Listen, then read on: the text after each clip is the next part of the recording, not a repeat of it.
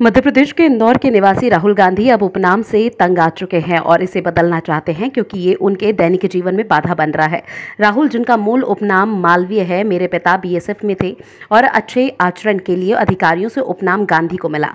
उन्होंने इसे परिवार में सभी के लिए अपनाया। स्कूल में मुझे राहुल मालवीय के बजाय राहुल गांधी के रूप में नामांकित किया गया था। मेरे दस्तावेज़ नहीं बनाए जा रहे हैं क्योंकि संबंधित विभाग इसे एक नकली नाम बताते हैं और मेरा मज़ाक भी उड़ाते हैं।